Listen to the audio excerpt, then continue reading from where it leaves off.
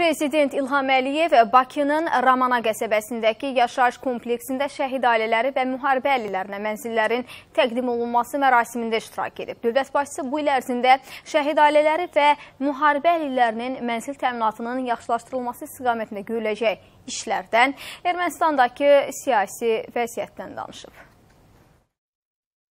Dövlət şəhid ailələri müharibə əlilləri üçün əlindən gələni edir. Mənim bu sahədəki siyasətim bir mənalıdır. Prezident İlham Əliyev qeyd edib ki, bugünə qədər 9200-ə yaxın şəhid ailəsi müharibə əlili dövlət tərəfindən mənzillərlə təmin edilib. Təkcə keçən il 1572 mənzil verilib. Bu il isə 3000-ə yaxın mənzil veriləcək. Beləliklə həm birinci, həm ikinci ə, Qarabağ müharibəsində şəhid olmuş evladlarımızın ailə üzvlərinə bu ilin sonuna qədər Bakıda, Sumqayıtda, Abşeron rayonunda yaşayan şəhid ailələrinə mənzillər tam veriləcək.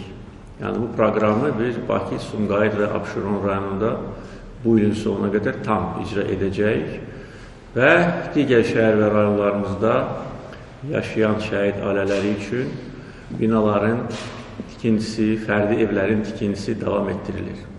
Əminəm ki, yaxın gələcəkdə bu proqram tam icra ediləcəkdir. Onu da bildirməliyəm ki, 7200-ə yaxın minik avtomaşını müharibə əlillərinə verilib. Mən bu rəqəmləri sadalamaqla bir də dövlətin bu kateqoriyada olan insanlara qayğısını dilə gətirmək istəyirəm və bildirmək istəyirəm ki, Azərbaycan bu sahədə də dünya miqyasında ən qabaqcıl yerlərdədir. Ermənistandakı siyasi gərginliyə toxunan dövlət başçısı qeyd edib ki, bu ölkədə böhran yaşanır, hər gün toqquşmalar, həbslər baş verir. Demokratik əsaslar demək olar ki, tamamilə pozulub. Prezident İlham Əliyev Ermənistanın heç vaxt belə acınacaqlı vəziyyətdə olmadığını da diqqətə çatdırıb. Müharibədən sonra ə, e, dövrə gəldikdə indi hər kəs görür ki, Azərbaycanda inkişaf gedir, quruculuq işləri başlayır. Ermənistanda isə böhran hökm sürür. Bir-birlərini ittiham edirlər. Bir-birini didirlər. Bizə xarici nümayəndələr hər zaman deyirlər ki, Ermənistan cəmiyyəti ə, e, birlik nümayiş etdirir və Ermənistan cəmiyyətində milli birlik var. İndi biz görürük, haradadır bu milli birlik. Bir-birlərini ittiham edirlər, bu məğlubiyyətdə bir-birini günahlandırırlar, kütləvi həbslər baş verir, amma nədənsə demokratiyadan dəm vuran bəzi e, qeyri-hökumət təşkilatları və bəzi hökumətlər buna göz yumurlar. Prezident İlham Əliyev həmçinin Ermənistan rəhbərliyinin onlara verilən silahların yararsız olmasından gileyləndiyini, kimisə günahlandırmağın hər şeydən asan olduğunu vurğulayıb. Bu silahlar onlara pulsuz verilmişdir, müftə verilmişdir. Öyle bir il yox, iki il yox, 30 il ərzində onları silahlandırırdılar bizə qarşı. Və ə, e, biz ə, e, indi bütün imkanlardan istifadə edib bölgədə gedən ə, e, prosesləri diqqətlə izləyirik. Bizim imkanlarımız var. Ə, informasiya mənbələrimiz kifayət qədər çoxdur.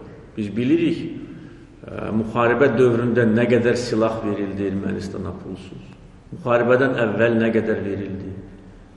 İyul toqquşmasından dərhal sonra iyulun 17-sindən başlayaraq müharibənin son gününə qədər Ermənistana gündə bir neçə təyyarə silah gətirirdi. Pulsuz. O, həmən o İskəndər raketləri Ermənistan pulla alıb, pulsuz alıb. Elbrus, .u, SKAD raketlərini pulla alıb, pulsuz alıb. S-300, hansı ki biz 7-sini məhv eləmişik. 7-sini. Onlar da pulsuz verilib. Tanklar, toplar, digər e, hava hücumuna qarşı sistemlər, onları biz məhv eləmişik, hamısını.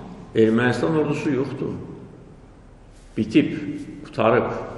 Amma indi eşitmişəm bir neçə gün əvvəl yenə də Ermənistan ordusunu canlandırmaq istəyirlər. Onların müttəfiqləri, onları modernləşdirmək istəyir. Nəyə görə? Kimə qarşı? Müharibə başa çatır.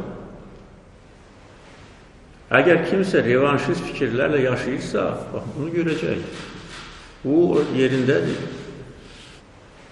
Və bizim səbrimizi sınamasınlar. Ermənistan ordusu qutardı, getdi, bitdi, yoxdur. Və olmamalıdır. Belə bir faşist dövlətdə ordu olmamalıdır. Və biz heç imkan verməliyik ki, bizim üçün hər hansı bir təhlükə yenidən yaransın, yaxud da ki, azad edilmiş torpaqlara qayıdacaq vətəndaşlarımız hər hansı bir risk hiss etsinlər. Biz bütün işlərə nəzarət edirik.